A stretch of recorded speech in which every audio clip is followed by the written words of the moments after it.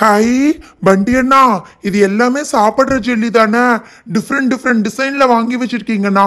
Grapes pineapple green grapes எனக்கு ரொம்ப பிடிக்கும்ண்ணா. இதெல்லாம் ஓப்பன் பண்ணி கொடுங்கண்ணா நான் சாப்பிட்றேன். ஒவ்வொரு டிசைன்லேயும் ஒவ்வொன்று ஓப்பன் பண்ணி கொடுங்க. மை காட் பண்டி இந்த மாதிரி ஷாப்ஸில் விற்கிற ஜெல்லி எல்லாம் நம்ம வாங்கி சாப்பிடக்கூடாது. அது எத்தனை நாளைக்கு முன்னாடி பேக் பண்ணதுன்னு நமக்கு தெரியாது. உள்ள வந்து கெட்டு போயிருக்கும் தெரியுமா? ஏ லில்லி அதெல்லாம் கெட்டு போயிருக்காதுன்னு நினைக்கிறேன். இரு நான் ஏதாவது ஒன்று ஓப்பன் பண்ணி காமிக்கிறேன். இது பைனாப்பிள் தானே? டே சிண்டு இது நல்லா இருந்துச்சுன்னா சாப்பிடு. லில்லி சொன்ன மாதிரி கெட்டு போயிருந்துச்சுன்னா சாப்பிட வேண்டாம். தூக்கி போட்டுடலாம் சரியா? ஓகேண்ணா நல்லா ஜெல்லின்னா கட்டி மாதிரி தானே இருக்கும்.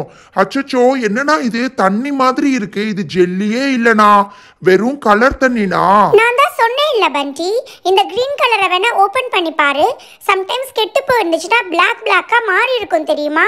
பாத்தியா நான் சொன்னேன் இல்ல பிளாக் பிளாக்கா இருக்கு. இதெல்லாம் சாப்பிடவே கூடாது. பண்டி நம்ம தான் வீட்லயே ஜெல்லி பண்றதுக்கு தேவையான ஜெல்லி மிக்ஸ் மோல்டு எல்லாம் வாங்கி வச்சிருக்கோம்ல. அப்புறம் எதுக்கு இந்த மாதிரி கடையில இருந்து வாங்கிட்டு வர? இங்க பாருங்க நம்ம வீட்ல என்னென்ன மோல்டு இருக்குன்னு நீங்களே பாருங்க. ஏ நான்சி இந்த எக் மோல்டு ரோஸ் மோல்டு அதுக்கப்புறம் பாண்டா இது எல்லாத்தையும் தான் ரொம்ப நாளா தேடிக்கிட்டு இருந்தேன். பண்டி இங்க பார்த்தியா ஜெல்லி கிறிஸ்டல்ஸ் இருக்குது இது டிஃப்ரெண்ட் ஃப்ளேவரில் இருக்குது இது லெமன் அடுத்தது ஸ்ட்ராபெரி அதுக்கப்புறம் ஆரஞ்சு கூட இருக்குன்னு நினைக்கிறேன். உன் கட்டில் கடையில இருந்து தான் அது எல்லாத்தையும் எடுத்திருக்கேன். கடைசியாக ப்ளூபெரி இதெல்லாம் பண்ணினா செம சூப்பராக வரும் தெரியுமா? இது எல்லாத்துலயும் வச்சு எனக்கு ரொம்ப பிடிச்சது லெமன் தான் நான்சி அதனால ஃபர்ஸ்ட் லெமன் தான் பண்ண போறேன். லெமன் வந்து மைல்டா செம டேஸ்டா இருக்கும் தெரியுமா? பார்க்கறதுக்கு கூட கண்ணாடி மாதிரி இருக்கும். ஹாய் அண்ணா என்னண்ணா இது? பாக்கெட்ல பொடி மாதிரி கொடுத்துருக்காங்க. இது எப்படின்னா ஜெல்லி ஆகும்? இந்த பாக்கெட்ல இருக்கிற பவுடரை இந்த மாதிரி ஏதாவது ஒரு பவுல்ல கொட்டிக்கிட்டு அதுல வந்து அவங்க கொடுத்துருக்கிற மெஷர்மெண்ட் அளவு வாட்டர் மிக்ஸ் பண்ணினா போதும்.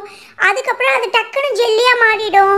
ஏ பண்டி அடுத்தது எனக்கு ரொம்ப பிடிச்ச ஸ்ட்ராபெரி ஃப்ளேவர் தான் பண்ணணும். ஸ்ட்ராபெரி நல்ல டேஸ்டா இருக்கும் தெரியுமா? லெமனை விட அதுதான் டேஸ்டா இருக்கும். உனக்கு தான் லெமன் பிடிக்குது மற்ற எல்லாத்துக்கும் ஸ்ட்ராபெரி தான் பிடிக்கும். எஸ் பங்கி எனக்கு கூட ஸ்ட்ராபெரி தான் ரொம்ப ஃபேவரட் இது பார்த்தியா பார்க்கறதுக்கு சுகர் மாதிரி இருக்கு. ரோஸ் இதுல மிக்ஸ் பண்றதுக்கு இன்னொரு பவுடரும் கொடுத்துருக்காங்க. இது ரெண்டையும் மிக்ஸ் பண்ணணும்பா. இந்த வெள்ளை கலரா இருக்கு பாத்தீங்களா? அதுதான் ஜெல்லி மாதிரி கட்டியா ஃபார்ம் ஆகிறதுக்கு ஹெல்ப் பண்ணும். ஸோ இதையும் அதோட சேர்ந்து கலக்கி போட்டுட்டு கட்டி கட்டியா இல்லாத மாதிரி கை வச்சு நல்லா மிக்ஸ் பண்ணிடணும். இது நல்லா கலங்கலன்னு வச்சுக்கோங்க. அதுக்கப்புறம் கெட்டியா வராது. தண்ணி மாதிரி தான் வந்துடும் பண்டி நீ எதுக்கும் கையெடு. நான் நல்லா மிக்ஸ் பண்ணி விட்டுறேன். அதுக்கப்புறம் கடைசியில் ஸ்ட்ராபெரி மட்டும் சொதப்பிட போகுது. ஓகே பண்டி அடுத்தது ப்ளூபெரி ஃப்ளேவர் நான் மிக்ஸ் பண்ணட்டுமா?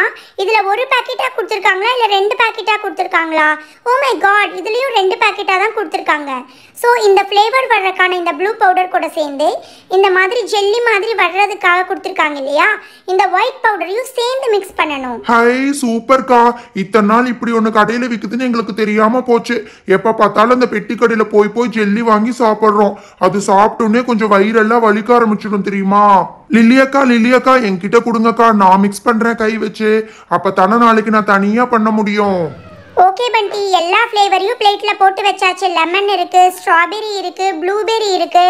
ஆரஞ்சு மட்டும் மிஸ் பண்ணிட்டா பரவாயில்ல இத ஸ்டார்ட் பண்ணிடலாம். நான்சி இந்த மாதிரி ஒரு பெரிய பவுல் எடுத்துக்கணும். உன்கிட்ட நான் தண்ணி கேட்டனே தண்ணிய சூடு பண்ணினியா? வண்டி அண்ணா சுடுதண்ணி தான் ஊத்தணும் நீங்க சொல்லவே இல்ல. ஆமாண்டா சிண்டு அப்பதான் இந்த பவுடர் நல்லா மிக்ஸ் ஆகும். இது தண்ணில நல்லா மிக்ஸ் ஆனாதான் நல்ல ஜெல்லி கன்சிஸ்டன்சிக்கு வரும். இப்ப இதை எந்த மோல்டுல ஊத்தலாம்? சொல்லுங்க நீங்களே சொல்லுங்க என்னென்ன மோல்டுல இதை ஊத்தலாம்? பண்டி பண்டி நான் கடையில இருந்து தேடி பிடிச்சி இந்த ரோஸ் மோல்டு வாங்கிட்டு வந்திருக்கேன். இந்த ரோஸ் மோல்டுல ஃபர்ஸ்ட் ஊற்றி மீதி இருக்கிறத நீ எதில் வேணாலும் ஊற்றிக்கோ அதுக்கப்புறம் நான் இப்போவே சொல்லிக்கிறேன். இந்த ரோஸ் ஜெல்லி எனக்கு தான் சரியா? நான் வேணா மத்தவங்களுக்கு கொஞ்சம் ஷேர் பண்ணுவேன். ஆனால் நிறைய கேட்கக்கூடாது. பண்டி அண்ணா இது இந்த முட்டை மோல்டுல ஊத்துங்கண்ணா. இந்த முட்டை எப்படி வரும்னு பார்க்கணும்னு எனக்கு ஆசையா இருக்குண்ணா. ஓகேடா சின்டோ நான்சியோட ஆசைக்கு ரோஸ்ல ஊத்தியாச்சு. உன்னோட ஆசைக்கு முட்டையில ஊத்தியாச்சு. இனி ஒரு ஹாஃப் அன் ஹவர் விட்டா போதும். இது சூப்பரா செட் ஆயிரும். இப்ப இதை எடுத்து எப்படி நான் வந்து இதை கவுத்துறேன் பாருங்க. இதை கவுத்தும் போது கேர்ஃபுல்லா இருக்கணும்டா. இல்லாட்டி அதோட ஷேப் உடஞ்சு போயிரும்.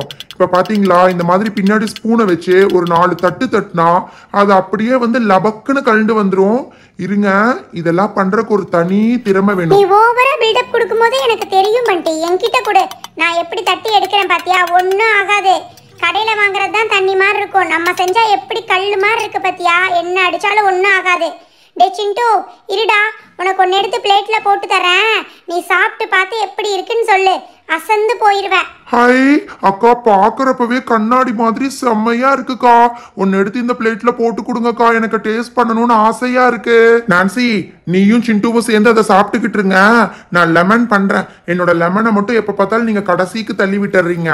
இதே மாதிரி இந்த பவுடரை மோல்டுல ஊத்திக்கிட்டு சுடுதண்ணி ஊத்தணும். நல்லா கேட்டுக்கோங்க. சுடுதண்ணி ஊத்துனீங்கன்னா நல்லா கரையாது அதுக்கப்புறம் ஷேப் வராது என்கிட்ட கேட்க கூடாது பண்டி நல்லா ஊத்துனா மட்டும் பத்தாது. இந்த மாதிரி ஸ்பூன் வச்சு நல்லா பவுடர் கரையிற மாதிரி மிக்ஸ் பண்ணி விட்டுறணும். சப்போஸ் பவுடர் அடியில செட்டில் ஆயிருந்துச்சுன்னா அதுக்கப்புறம் ஜெல்லி கரெக்டா வராது. எனக்கு ஒரு நாள் அப்படித்தான் ஆயிடுச்சு. பண்டி அண்ணா என்கிட்ட கரண்டியை கொடுங்கண்ணா. நான் அந்த முட்டை மோல்டுல ஊத்துறேன். இந்த எல்லோலையும் முட்டை மாதிரி பண்ணி பார்க்கலாம்ண்ணா பார்க்கறக்கே கியூட்டா இருக்குல்ல இந்த எக் மோல்டு இன்னும் தேர்ட்டி மினிட்ஸ் விட்டா போதும். இது அப்படியே கல்லு மாதிரி செட் ஆயிடும். பண்டி கரெக்டாக தேர்ட்டி மினிட்ஸில் கல் மாதிரி செட் ஆயிடுச்சு. இங்கே கை வச்சு பாரேன். செம கட்டியாக இருக்கு பண்டி ஓ மை காட் நான் எங்கள் வீட்டில் கூட இவ்வளோ பெரிய மோல்டில் ஜெல்லி பண்ணதே இல்லை. நான் பேசாமல் இது மேலேயே அப்படி படுத்துக்க போகிறேன் அப்போ கூட இது ஒன்றுமே ஆகாதுன்னு நினைக்கிறேன். வாவ் ரோஸ் படுத்ததுக்கு அப்புறம் கூட அந்த ஜெல்லி கொஞ்சம் கூட டேமேஜ் ஆகவே இல்லையே. அந்த அளவுக்கு கட்டியாக இருக்கு. ஷாப்பில் வாங்கினது எப்படி லிக்விட் மாதிரி இருந்துச்சுன்னு பார்த்தீங்களா ஏ ரோஸ் இப்படியே ஜெல்லி மேலே படுத்துட்டு இருந்தா? எப்போ எடுத்து கொட்டுறது எப்படி சாப்பிட்றது? எந்திரி ரோஸ். நோ நோ நான்சி நீங்கள் யாருமே இந்த மோல்டு வேணும்னு கேட்கவே இல்லைல்ல. ஸோ நான் இது மேலே தான் படுத்துட்டு இருக்க போகிறேன் நீங்கள் வேணால் அந்த எக்கை எடுத்து சாப்பிடுங்க. உங்ககிட்ட தான் அவ்வளோ ஜெல்லி இருக்குல்ல. எதுக்காக இதே வேணும்னு கேட்டுட்டு இருக்கீங்க? நான்சி அவ கொஞ்ச நேரம் படுத்தா படுத்துட்டு போகட்டும். நீ மற்றதையெல்லாம் எடுத்து இந்த பிளேட்டில் கொட்டு. நீயே கொட்டு. நீ தான் சூப்பராக கொட்டுறையே. ஆட என்ன நான்சி இது டக்குன்னு வந்துருச்சு அந்த பிங்கை விட. ஆமா பண்டி எனக்கே ஆச்சரியமா தான் இருக்கு. மோல்ட்ல கொஞ்சம் கூட ஒட்டவே இல்ல. அதே சமயம் நல்லா கட்டி மாதிரி இருக்கு தெரியுமா? இதை யாரு சாப்பிடுறாங்க? ஏ பண்டி நீ தானே வேணும்னு கேட்ட. உன்னை எடுத்து அப்படியே வாயில போட்டு முழுங்கு. நான்சி அக்கா அந்த பாண்டால் இருக்கிற லெமன் வந்து எனக்கு கொடுக்குறீங்களா? அந்த பாண்டா ஷேப் எனக்கு ரொம்ப பிடிச்சிருக்குக்கா. ஓகே சோட்டு பாப்பா. இதில் வர ஜெல்லியை நீயே எடுத்துக்கோ. எல்லா டேஸ்ட் ஒன்று தான் ஷேப் தான் வேறு. இது என்னது இது? நிறைய குழி குழியா இருக்கங்காட்டி ஈஸியா வர மாட்டேங்குது பண்டி. அக்கா அக்கா ப்ளீஸ்க்கா பார்த்து கேர்ஃபுல்லா எடுங்கக்கா. அந்த பாண்டா ஷேப் அப்படியே இருந்தாதான்க்கா பார்க்கறதுக்கு கியூட்டா இருக்கும். அது உடஞ்சு போச்சுன்னா அவ்வளவுதான். ஹை அக்கா சூப்பரா வந்துருச்சுக்கா. நான் எடுத்துக்கிட்டுமா? ஓகே நான்சி இப்போ எல்லாத்தையுமே கீழே கொட்டிட்டா ஓகே பட் இந்த ரோஸை கொட்டுறதை நினைச்சா எனக்கே கொஞ்சம் பயமா தான் இருக்கு. எதுக்கும் நீயே பண்ணு நான்சி ஆமா நான்சி. எனக்கு என்னமோ இந்த ரோஸ் இருக்கிற சைஸை பார்த்தா இதை ஈஸியா கொட்டிட முடியும்னு தோணல. நீயே ட்ரை பண்ணி பாரு. நல்லா அந்த இடுக்குல எல்லாம் போய் மாட்டிட்டு இருக்கு. பண்டி அதெல்லாம் சும்மா யோசிச்சுட்டு இருக்க கூடாது. எப்படி கல் மாதிரி இருக்கு பாத்தியா? அப்படியே கவுத்தி போட்டு மேலே ஏதாவது ஸ்பூன் ஏதாவது இருந்தா இதை வச்சு அடிக்க வேண்டியதுதான். நான்சி கொஞ்சம் தள்ளிக்கோ. நான் வேணா அது மேல ஏறி மிதிக்கட்டுமா நாலு மிதி? நல்லா குதி லில்லி அது கூட நல்ல ஐடியா தான். அப்பவாவது அது வருதான்னு பார்க்கலாம். என்னது இது? அப்ப கூட வர்ற மாதிரி தெரியலையே. இது வேலைக்கு ஆகுற மாதிரி தெரியல. எடுத்து இப்ப நான் என்ன பண்றேன்னு மட்டும் பாருங்க. அச்சச்சோ நான்சி ரொம்ப கஷ்டப்பட்டு பண்ணிருக்க. பார்த்து கேர்ஃபுல்லா பண்ணு. இது உடஞ்சு சொதப்பிர போகுது. அப்புறம் அவ்வளவுதான். இவ்வளோ நேரம் கஷ்டப்பட்டதே வீணா போயிடும். இது என்னோட பொறுமையை ரொம்ப சோதிக்குது பண்டி. வரவே மாட்டேங்குது பாரு எவ்வளோ தட்டு தட்டினாலும் வர மாட்டே ஐயா வந்துருச்சு வந்துருச்சு. ஏ பண்டி செமையா இருக்கல்ல. வாவ். நான்சி அதோட ஷேப் கொஞ்சம் கூட கலையவே இல்லை. அப்படியே பார்க்கறக்கு ஒரு எக்ஸாக்ட் ரோஸ் மாதிரி இருக்கு. உண்மையாவே இது நல்லா வரும்னு நான் எக்ஸ்பெக்ட் பண்ணவே இல்லை தெரியுமா? ரொம்ப சர்ப்ரைசிங்கா இருக்கு. அதுதான் நம்மளே பண்ற ஜெல்லியோட ஸ்பெஷாலிட்டி எவ்வளோ கல் மாதிரி இருந்ததுனால தானே அது உடையாம வந்திருக்கு. சரி ப்ளூபெரியில என்னென்ன ஷேப் பண்ணலாம்? யார் யாருக்கு வேணும்? இப்பவே நல்லா ரிசர்வ் பண்ணி வச்சுக்கோங்க. கடைசியா வந்து கேட்க கூடாது அக்கா அக்கா எல்லா ஷேப்பும் பண்ணுனீங்க. அந்த மிக்கி மவுஸ் பண்ணவே இல்லக்கா. அந்த மிக்கி மவுஸ்லயும் பாண்டாலையும் ஊத்துங்கக்கா. அப்படியே எக்லையும் கொஞ்சம் ஊத்திருங்க. நான்சி இதை ஸ்பூனை வச்சு நான் கலக்கி விட்டுக்கிட்டு இருக்கேன். நீ போய் அந்த மோல்டெல்லாம் எடுத்துட்டு வா நான்சி அந்த மோல்டெல்லாம் எங்க வச்சேன்னே தெரியல. எல்லா மோல்டும் இங்கேயே தான் இருக்கு பண்டி. சரி கடைசியா இவ்ளோ ஜெல்லி பண்ணி என்ன பண்ண போறோம் பண்டி? சொல்றேன் சொல்றேன். நீங்க முதல்ல எல்லா கலர் ஜெல்லியும் பண்ணி ரெடியா வைங்க. அப்பதானே இது எல்லாத்தையும் வச்சு என்ன பண்ண போறோம்னு நான் சொல்ல முடியும்? அண்ணா அண்ணா எல்லாத்தையும் அதுலயே ஊத்திராதீங்கண்ணா இந்த மிக்கி மவுஸ் தானே நான் ரிசர்வ் பண்ணி வச்சிருக்கேன். அதுலயும் கொஞ்சம் ஊத்துங்கண்ணா ஓகே கைஸ் இது செட் ஆகறதுக்கு ஒரு தேர்ட்டி மினிட்ஸ் ஆகும். நம்ம அதுக்குள்ள போய் என்னென்ன வேணுமோ எடுத்துட்டு வந்துடலாமா? சரி ஓகே எல்லா ஜெல்லியும் செட் ஆயிருச்சு. ரோஸ் எனக்கு தான். நான்சி அப்படியே இந்த ப்ளூவையும் பிளேட்ல கொட்டிரு. அதுக்கப்புறம் எல்லா ஜெல்லியும் ஒண்ணா எடுத்துட்டு வந்து வச்சு எல்லாத்துக்கும் பிரிச்சுக்கலாம். அப்படியே எல்லாத்தையும் என்ன பண்ணலாம்னு நான் சொல்றேன். நான்சி அக்கா எல்லோ கலர் பாண்டாவும் எனக்கு தான். இப்போ நீங்க அடுத்ததா எடுக்க போற இந்த ப்ளூ கலர் பாண்டாவும் எனக்கு தான்க்கா. எல்லா பாண்டா ஜெல்லியும் நான் எடுத்துக்கிறேன் பேசாம. வாவ் எல்லா ஜெல்லையும் பண்ணி இந்த மாதிரி பிளேட்ஸில் டிஸ்ப்ளே பண்ணி வச்சிருக்கிறத பார்த்தாலே ரொம்ப அட்ராக்டிவாக இருக்குது பண்டி இனிமேல் நம்ம ஷாப்ஸில் வாங்கவே வேண்டாம். லில்லி இங்கே பாரு. இப்போ இந்த எல்லோ கலரை நான் கொஞ்சம் கட் பண்ணி எடுக்கிறேன். இது எப்படி இருக்குன்னு மட்டும் பாருங்களேன். செமையாக இருக்குல்ல?